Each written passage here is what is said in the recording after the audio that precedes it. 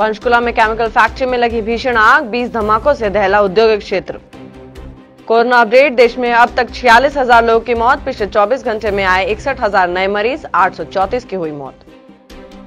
Lungs cancer से जूझ रहे संजय दत्त, बीमारी की खबर के बाद टाला गया सड़क दो का ट्रेलर रिलीज़। पुलवामा में सुरक्षा बलों और आतंकियों के बीच मुठभेड़ जारी, एक जवान शहीद, एक आतंकी मारा गया।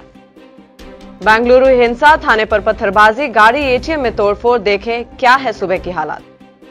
गिरावट के साथ शेयर बाज़ार की शुरुआत, सेंसेक्स 250 अंक लुढ़का। पानीपत में लड्डू गोपाल को झूला झुलाया, आज भी जन्माष्टमी का उत्साह। पंजाबी सिंगर आर नेत के साथ मारपीट 20 लोगों ने घर में घुसकर किया हमला। राजस्थान के बाद पंजाब में कांग्रेस के लिए मुश्किल भाजपा बोले, कैप्टन को हटाओ, नहीं तो गेम ओवर। ट्राई में कोरोना के 180 नए केस, चार की मौत, जबकि हरियाणा के जिला सिरसा में दो दिन में आए पचानवे केस, तीस हुए स्वस्थ।